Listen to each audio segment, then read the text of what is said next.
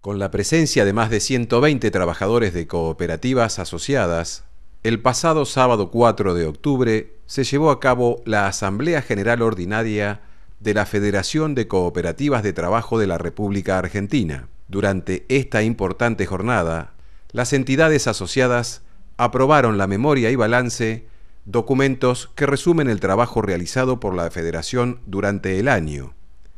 Además de esto, se renovaron las autoridades del Consejo de Administración.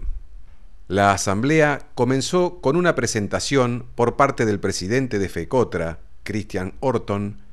quien describió en rasgos generales las líneas de trabajo seguidas por la Federación durante este año, las actividades realizadas y los eventos en los cuales estuvo presente la institución, para luego pasar a exponer los puntos principales de la memoria y balance. Durante este segmento, el dirigente destacó el crecimiento logrado, tanto en relación a la base societaria como en la administración y gestión interna de la institución, describiendo la labor realizada por cada área y equipo de trabajo. A continuación, el presidente pasó a exponer cuáles serán los ejes estratégicos en los cuales la federación trabajará durante el año entrante. Luego se procedió a realizar la votación por la renovación de autoridades. A tal respecto, se decidió por unanimidad la incorporación de Carlos Leigener, Cooperativa Bases de Córdoba, como segundo vocal y la designación de Ramón González, Cooperativa La Esquina de Tucumán, como nuevo secretario de integración. Por su parte, Claudio de Cundo renovó su cargo como secretario. A continuación, se abrió un espacio donde cada cooperativa pudo presentar su trabajo, relatar su situación actual y comentar cuál es su proyección para este nuevo periodo. A su vez, poniendo de relevancia la fuerte impronta federalista de la FECOTRA, cada seccional realizó una intervención exponiendo las realidades y coyunturas específicas de cada región de nuestro país, donde la federación ejerce su representatividad. Más tarde, el anterior presidente de la federación, vocal de directorio del INAES,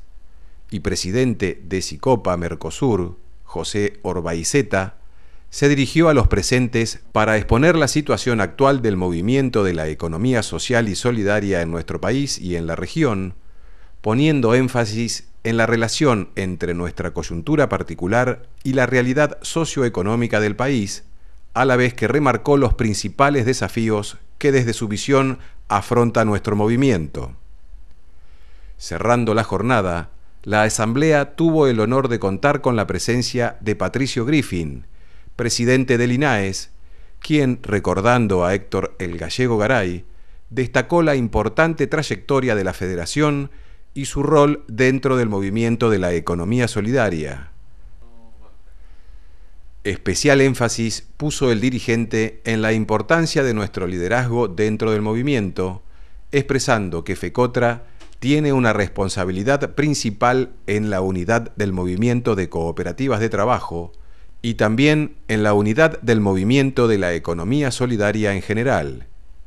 FECOTRA tiene que ser el soporte mediante el cual se consiga la unidad del movimiento cooperativo de trabajo, manifestó Griffin. Desde la Federación de Cooperativas de Trabajo de la República Argentina, estamos orgullosos de haber cerrado otro año de militancia y construcción cooperativa, conscientes de nuestros logros y de los desafíos que la realidad nos presentan en este nuevo periodo. Creemos que es clave reafirmar nuestro compromiso con la integración